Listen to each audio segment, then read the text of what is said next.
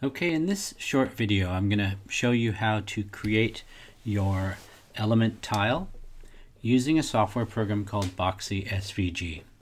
This is a graphics uh, design software, a very simple one, uh, and yet sort of the perfect tool for the kind of project that you're about to do. So um, you saw the image of the oxygen uh, tile with its different elements involved. And so I'm going to walk you through the recreation of that tile uh, using the tools here. So first thing you'll notice is that on the left hand side there are a set of six different tools to choose from. Uh, we're going to go over just a, a few of these for the purpose of this project. And then over on the right hand side you'll see another set of tools uh, and again, we're going to only go over a few of these, just enough of, for those uh, that are needed for the project. So first thing I'm going to do is bring out a text element. Uh, each of you has an element with a name. Uh, in this case, it's going to be oxygen for me. So I'm going to click on the A tool, which is our text tool, and I'm going to click somewhere on the screen where I would want that to appear. So I'm just going to click right here, and I'm going to type the word oxygen to the box, and uh, I'm going to need a couple of other things. I think I need the atomic mass unit and I need the element number. So I'm going to click on the A again. I'll click down here and I, I believe it's, if I can remember correctly, uh, I think the atomic mass unit is something like that. And one more time, I'll click on the A and I'll create my atomic number, which is 8. And uh, one more is the is the gigantic O that's at the top there. So capital O. Now when I want to move things around the screen, I'm going to, instead of being in text mode, I want to be here in my pointer mode because that's what's going to allow me to pick up an object and move it where I need it to be on the screen. It's also at that point that I can resize the object to be the size that I need it to be. And these are things that you'll have to uh, explore as you uh, as you make your own. Okay, now I need to make the actual uh, diagram of the atom. And I'm going to do a couple of things here. I'm going to bring out uh, circles. Right over here, this is our shape tool. Yours might look differently than mine. Mine just happens to have been currently chosen on the star. If I click on the arrow, drop down arrow to the right, you'll see, see that I have different shapes. I'm going to bring out the, uh, the generic circle shape right there and I can create a uh, the, the main circle on the outside uh, to start my project. Here's the thing, when you are creating any kind of shape, if you hold down the shift key while you create that shape, it constrains the shape to be an exact circle or an exact square or an exact pentagon, whatever, whatever you're creating. So I'm going to hold my shift key while I'm dragging this out. And there's my first circle. Now, the way that you saw it, and I'll flash back at this point to the original, you'll notice that I have, uh, it's not really a filled circle, it's somewhat of a, it looks almost like a giant O. And so now when I come back to this, what I'm going to do is I'm going to create another circle here. I'm going to hold my shift key. I'm going to make this one a tiny bit smaller. Okay.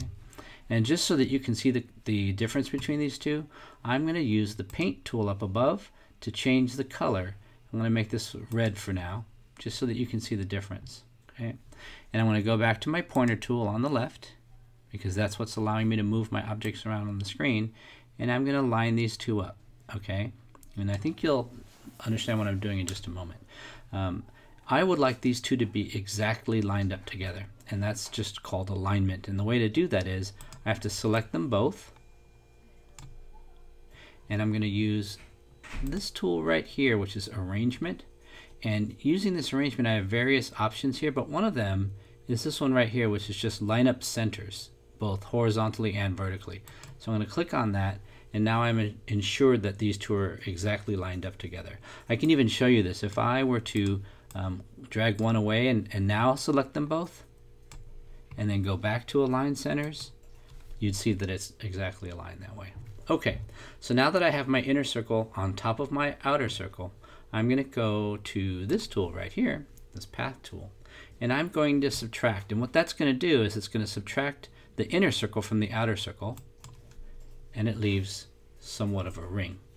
Okay, I'm going to do the same thing. I, I think I have two of these in the oxygen atom, so I'm going to click and uh, shift drag a smaller circle. And shift drag another smaller circle. I'm to make go back to my pointer tool and I'm to make this one red just so that I can distinguish between the two. And as I select them both, I'm going to line up their centers. And I'm going to the path editor. And I'm going to subtract. And now I have my inner ring.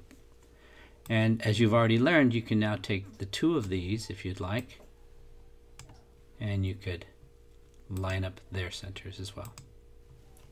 Okay, uh, one more thing is I need the actual nucleus in there, so I'm going to go in, make a smaller one, hold my shift key.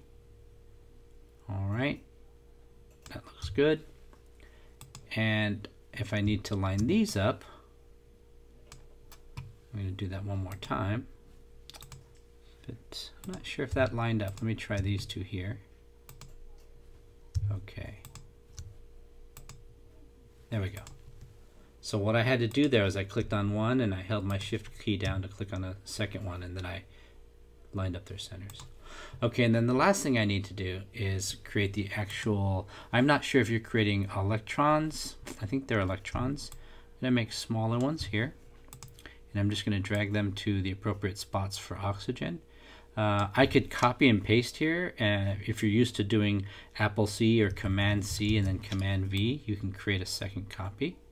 Um, I actually like to use the duplicate tool. And the way you do that is I'm, I'm using a mouse right now. And if I click the right mouse button on top of uh, an object, I can select duplicate.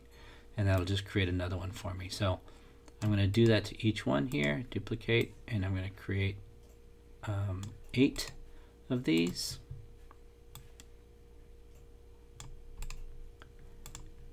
And that will give us our oxygen atom.